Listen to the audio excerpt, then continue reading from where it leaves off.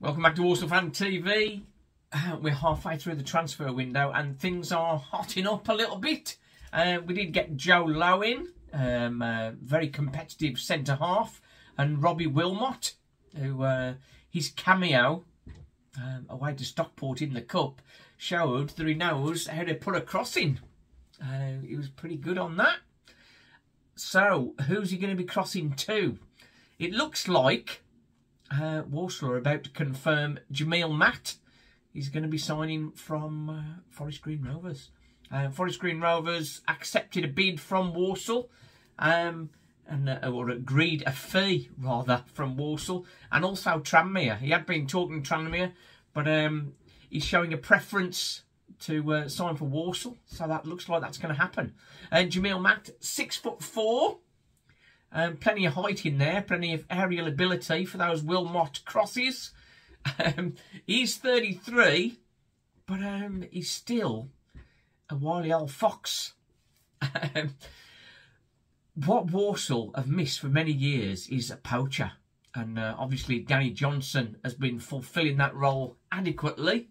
Uh, well, Jamille Matt is another poacher. He knows how to get on to the end of things and uh, and knows how to finish. Um, last four years, he scored uh, 63 goals. So we're not goal shy by any means. He scored 19 goals and 9 assists in Forest Green Rovers' uh, promotion campaign. Um, he did have a bit of a blip in the middle of the season, but last six games, he got one goal and one assist. So we're back on the trail. And uh, this season in League One, Forest Green Rovers clearly are a struggling team this season. Um, but he's still got a goal and assist in the last seven. So um, he's still popping up with goals. And uh, the key for me, as Walsall uh, looking to be in a promotion race, what you need is experienced players. And uh, Walsall, generally, is quite a young team. So uh, the likes of Willmott coming in and uh, Jamille Matt coming in, that's putting some uh, experience in and around the place. And I think it is protection as well. If Danny Johnson doesn't stay, Jamille Matt would be an adequate replacement for him. If Danny Johnson does stay, which we're hoping he will, um, he's a great option off the bench or even playing alongside Danny Johnson.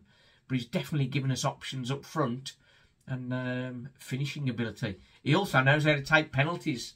Uh, got a very good penalty scoring record, which will come into play at some, po- some point, no doubt. Um, another player that um, is possibly coming to Walsall, um, Will Jääskeläinen. As you might guess from the name, he is the son of Jussi Jääskeläinen, um, and he's been recently uh, with Wimbledon as a reserve keeper, and with Walsall looking for backup keepers, um, he would fit the bill for that. He's just 24, and uh, he'd be looking for game time, and would be uh, a decent backup keeper, which is what Walsall need. And again, he's somebody that can develop.